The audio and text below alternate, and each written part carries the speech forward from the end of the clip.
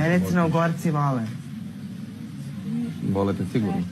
Pozdrav za manastir Osovo, pozdrav za Crnu Goru, Pozdrav za manastir Osovo. pa za ljude u manastiru Osovu koji radi. Oni gledaju sad ovo, jel? Pa gledaju. Pošto e, nas ne gledaju, nas svi gledaju. vidiš.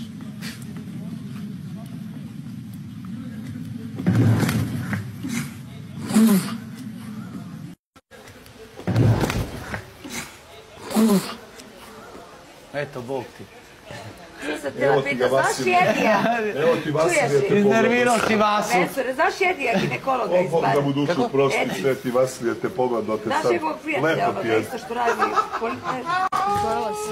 Njih sam upoznala, baš su dobri momci. Nemoj Vasu da ljutiš. Ne, ne, Božo, prosti me, molim te. Ne pozdravim manastir više. A kako, kako, pa sam pao? Gdje je drška Janjuša četvrta? Evo ti ispred tebe.